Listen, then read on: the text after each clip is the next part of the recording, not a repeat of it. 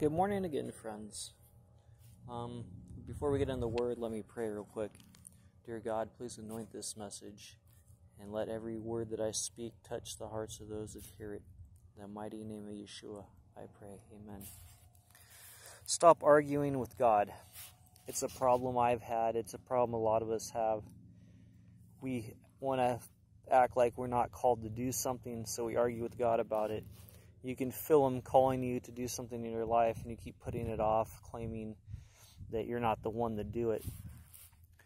And it's not true. It's not true. We can do anything through Christ that strengthens us. So many times we argue with God in our lives, saying, like Moses did, that we cannot or aren't able to do the things that the Lord has wanted us to begin in this life on earth. Exodus 4 1 through 12. This was Moses before he became the great man of God and led the Jews out of Egypt. He was trying to argue with God right here. And Moses answered and said, But behold, they will not listen to me, nor hearken unto my voice. For they will say, The Lord hath not appeared unto thee.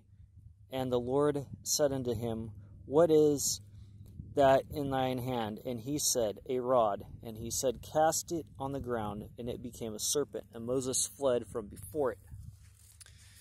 I wonder how many things that we look look at that God tells us to do, and we keep saying we can't do it. But God's like, Yes, you can. Like, watch. Just just try it.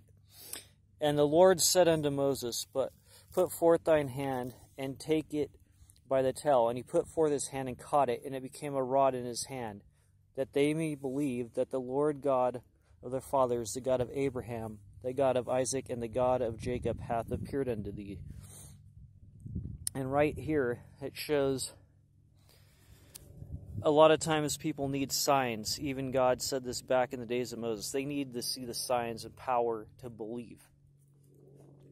And the Lord said, Furthermore unto him, Put now thine hand into thy bosom. And when he took it out, behold, his hand was leprous as snow. And he said, Put thine hand into thy bosom again. And he put his hand into his bosom again.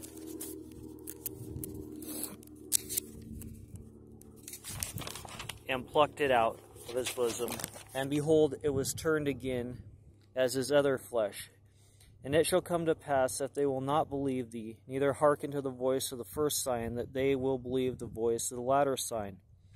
And it shall come to pass, if they will not believe also these two signs, neither hearken unto thy voice, that thou shalt take of the water of the river, which thou takest of the river, shall become blood upon dry land. And Moses said unto the Lord, O my Lord, I am not eloquent in speech, neither hitherto nor since thou hast spoken unto thy servant, but I am slow of speech and of a slow tongue.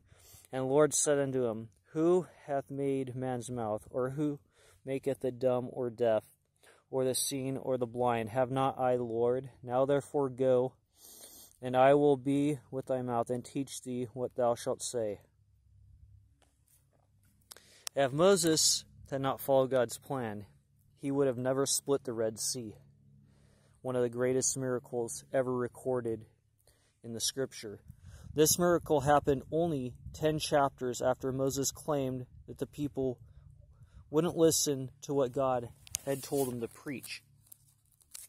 But they obviously did because he led a whole nation out to the Holy Land and called him to do the things that he called them to do, he kept claiming that they wouldn't listen, but they did listen because God was with them. We, like Moses, resist the direction God leads us to travel and end up missing our Red Sea open for us.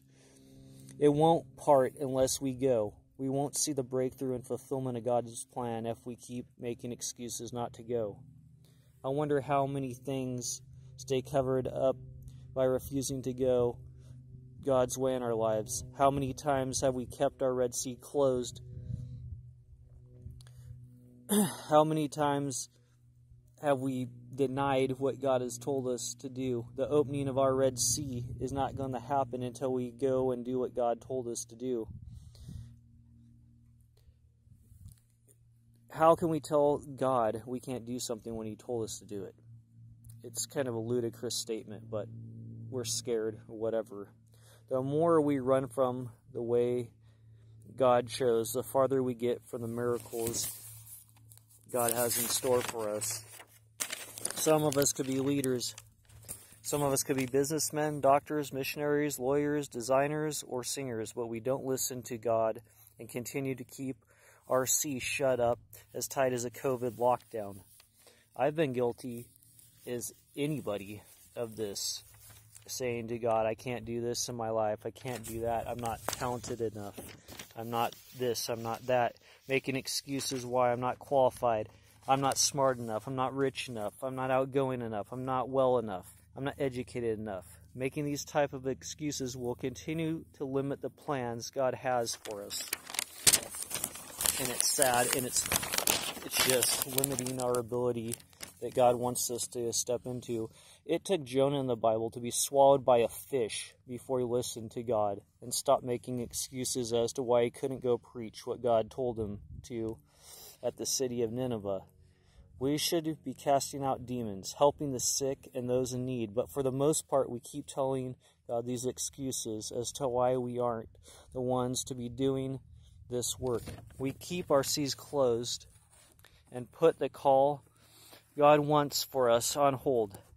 How long are we going to deny what God's telling us to begin doing?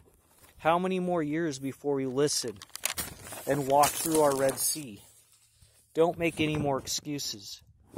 Don't argue anymore with the call God has given you to accomplish. Don't spend your life being a Jonah and facing your fish experience before you listen to the plan God had for you. If Moses had not listened to God, he would have never seen the glory of God on the mountaintop. He would have never led the Jews out of Egypt, and he would have never fulfilled the call on his life and become one of the greatest men in the Bible. Don't be a Jonah, be a Moses. So many of us, so many of us spend most of our time making excuses, and we could be doing the most greatest things in the kingdom of God. There's so many people that could be saved if we would just listen and go and do what God told us to do. I did this for many years myself. I said, I, am too sick. How am I going to preach? I can barely even get out of bed. I'm not a preacher. I haven't gone to Bible school. I don't know what I'm like how to make these sermons, but I do know the scriptures. And I've been in church for a long time and I've been taught under many good teachers. And one day I was watching another preacher and he was like, you know, you just go and you start preaching on any platform you have. So I picked up my phone, I picked up my Bible, I got down on my knees and prayed to God, and I went and started making sermons. And I'm not the best preacher by any means, but I'm not trying to be the best. I'm trying to do what God told me to do, what God has called us all to do to go and spread the message of Christ. And as long as I'm doing that, God's going to bless whatever is happening. We could be going through the greatest trial mental, physical, emotional, financial, does not matter. We cannot make that as an excuse to why we cannot follow God's call for our life. Moses went through all kinds of stuff in his life. The Jews betrayed him because he killed an Egyptian trying to protect his Jewish brothers, and then they ratted him out to the Egyptians. He had to go flee for years for years of his life. And he could have used that as an excuse, too. He could have been like, God, you know, I'm not going to help these people. They straight ratted me out to the people that enslaved us. But no, he ended up listening. Don't take as long as Jonah did to where you have to have something so drastic like a whale or a big fish or whatever creature from the sea swallowed him exactly don't take that point in your life. Do it now. Do it now. Have the blessings of God in your life now. Don't wait for a disaster to be blessed. Don't wait for a disaster to have your Red Sea open up for you. Walk through these trials with God Do what He's called you to do.